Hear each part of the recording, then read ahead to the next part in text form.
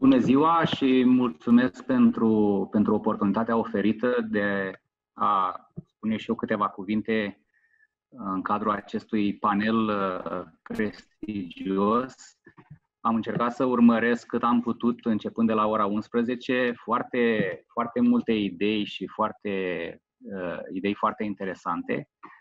Uh, ca să continui de unde, de unde a lăsat-o colegul nostru de la, de la Romgaz, uh, industria de, de petrol și gaze are într-adevăr un potențial deosebit și un potențial de a contribui la, la relansarea economiei uh, și la scoaterea ei din, uh, din, această, din această criză. Din păcate, și noi am fost,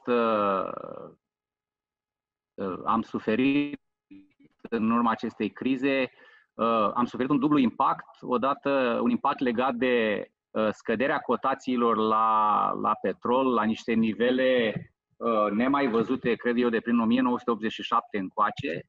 Uh, și dintr-o dată toate bugetele au, uh, au trebuit să fie, să fie recalculate și doi, uh, o scădere dramatică a, a consumului, în special în trimestrul 2 din anul 2020, specific acestei crize cauzate de, de coronavirus. Uh, cu toate acestea, noi încercăm să, să, rămânem, să rămânem optimiști, credem, uh, credem în rolul gazului, ca să leg puțin și de, de ce au spus antevorbitorii mei. Uh, domnul președinte Chirițoiu spunea că poate că e vremea gazului acum. Uh, și noi credem în, în acest timp al gazului pentru că uh, gazul poate să reprezinte un excelent uh, combustibil de tranziție către o economie mai curată și către o lume mai curată. Nu toți vor putea să renunțe, nu toate regiunile, nu toate țările vor putea să renunțe la consumul de, de cărbune brusc pentru a face loc energiei regenerabile și credem noi că gazul uh, reprezintă, reprezintă un, uh, o alternativă foarte bună pe termen mediu. Atât noi cât și Romgaz avem experiență în uh, uh, utilizarea gazului în aplicații de generare a energiei electrică și ne uităm și la alte aplicații gen uh, producere de hidrogen. Uh, pentru asta însă avem nevoie și noi de, de o anumită stabilitate, de o anumită predictibilitate în piață. Uh, cum se spune, viitorul ne preocupă, dar prezentul, prezentul ne, ocupă, ne ocupă tot timpul. Uh, sunt, uh, s-au făcut pași către, către liberalizarea pieței de gaze. Se dorește această liberalizare, cred că de toți actorii din piață. La 1 iulie ea a fost foarte, foarte așteptată. Uh, mult dialog și la nivelul ANRE și la nivelul Ministerului, lucru pe care îl apreciem. Uh, credem că mai sunt anumite lucruri de, de pus la punct, uh, lucruri care nu pot să ne lase indiferenți, dar în același timp știm că există profesioniști la nivelul Ministerului și la nivelul autorității de, autorității de reglementare cu care putem avea acest dialog și să căutăm împreună să, să găsim soluția cea mai bună pentru o tranziție, zic eu, cât mai armonioasă, cât mai lină către, către o piață liberă.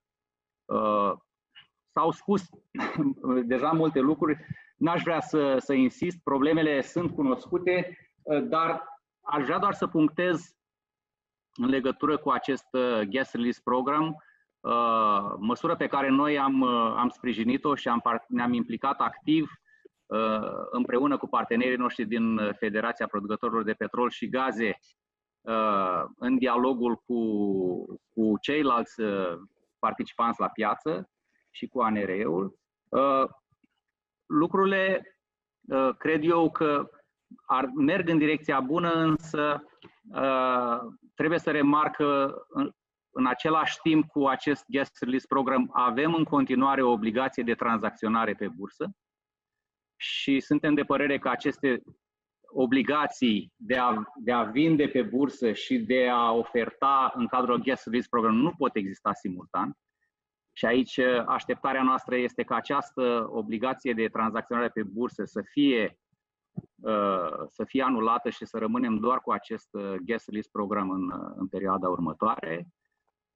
De asemenea, un scurt comentariu legat de nivelul obligației în acest guest list program, care la noi a fost stabilit de 30%. Din practica pe care am văzut-o în alte țări, aș putea să spun Austria 3%, Franța 3%, uh, Italia cred că 5% și Spania 7%. Deci undeva între 3 și până în 10% obligație. La noi 30% vom vedea ce impact va avea această obligație asupra, uh, asupra producătorilor, mă refer. Nivelul prețului, probabil că s-a mai comentat, uh, este uh, un nivel al prețului cu o referință într-o altă piață. Nu este probabil cea mai fericită opțiune.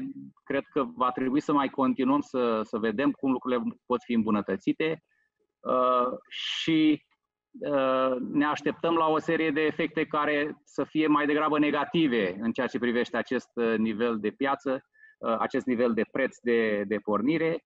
Va trebui să vedem ce impact va avea acest preț asupra bugetelor de investiții și asupra banilor pe care companiile petroliere le au la dispoziție în continuare, uh, să vedem în ce măsură acest preț se va reflecta, cum s-a mai spus, și în facturile consumatorului final.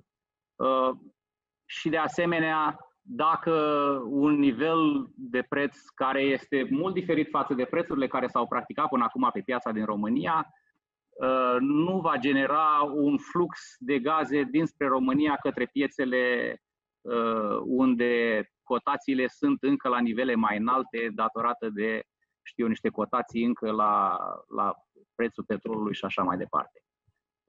Uh, cam asta am dorit eu să spun. Timpul ne presează. Dacă vor fi întrebări, cu mare plăcere mai rămân să, să răspund. Mulțumesc foarte mult!